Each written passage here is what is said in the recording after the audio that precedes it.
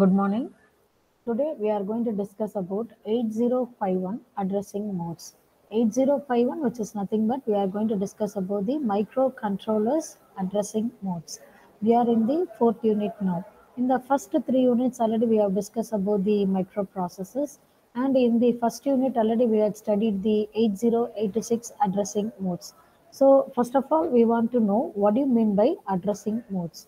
So addressing modes is nothing but in which way, how the data which is going to be represented in the instruction.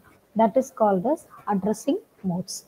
Okay, so here in 8051, the CPU can access the data in various ways, which are called as the addressing modes. So here totally there are eight types of addressing modes. One is called as immediate addressing modes, register addressing modes, direct addressing modes, indirect addressing modes, relative, absolute, long, and then indexed addressing modes. So totally we are having eight addressing modes. So now immediate addressing mode. So immediate in the sense by the name of immediate, the data is immediately transferred to that particular instruction.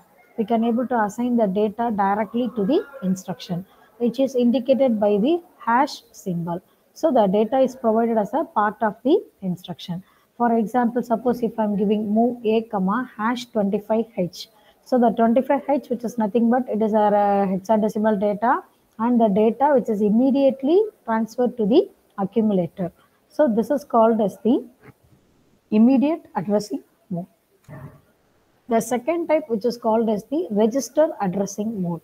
So register addressing mode in the sense we are going to transfer that information from the register to either the accumulator or to the register like that. Okay, for example, move a comma r0. So r0 which is nothing but a register name. So the content of the r0 which is going to be transferred to the accumulator which is called as register addressing modes. And the third type which is called as the direct addressing modes. So direct addressing modes in the sense here the it allows the specify the operand by giving itself in the actual memory location. For example, move R0, R0 comma 40H. So 40H in the sense it is in the location. So whatever the content in that particular location directly which is going to assign to the register. So that is called as the direct addressing mode. We are specifying the location directly. Okay. So 40H is nothing but a location. The fourth type which is called as the indirect addressing modes. So indirect in the sense the location which is not specified. We are going to give the pointer of the location. For example, R0 is a pointer. Here at the point of R0, the register is used as a pointer to the data. Okay, so it is indicated by the sim at symbol. So it moves the content of the random access memory whose address is held by the R0. So in that R0, whatever the address may be specified, that address, that content will be moved to the accumulator register. That is called as the indirect. For example, suppose if I am asking you to go to the room number 218, then you people are going to 218, but 218 your data will not be available. From there, again some indication will be there. So from there, you have to redirect it to some other. In that place only your record may be there. I ask you to go and collect your record.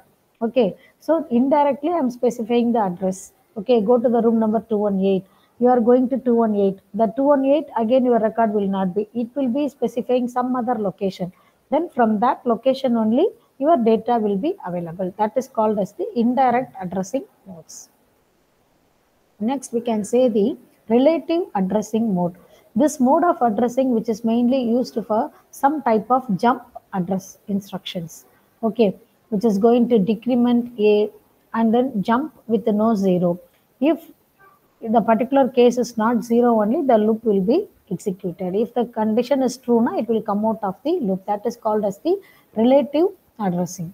Okay. Then absolute addressing. The absolute addressing in the sense it is going to control its transfer, which is going to specify as a label. Then long address. This mode of addressing is used with the lcall and the ljump instructions. Normally, it is a 3 byte instruction which is allowed for the 64K code space. And the last type, which is called as the indexed addressing modes. So the index in the sense which is going to take the offset value of that. Okay, so we are going to calculate the effective address from the lookup table. That value will be added with that. So thank you.